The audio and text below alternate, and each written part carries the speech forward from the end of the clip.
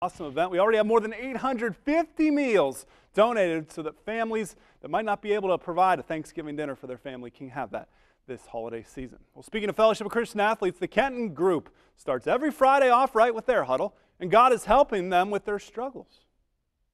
Temptation, definitely. Just to stay within the right crowd and stay true to myself has been a big thing.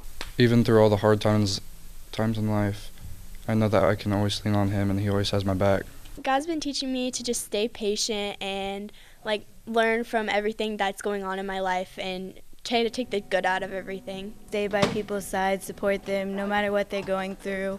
Um, be a good friend and a good leader to everyone. FCA is a chance for me to come together with other people from my school and just a lot of people I didn't know that they were Christians too or went to church and stuff. So it's nice to know that even though you're at school and some people don't exactly have the same beliefs that you do that others do and it's easy to get along with them and just have them there for you. So in this room i know that i can trust all of them and i can go to them if i need something. Bringing everyone together. The people who don't have the opportunity to go to church with their families i can encourage them to come here and we can all just share the word of god together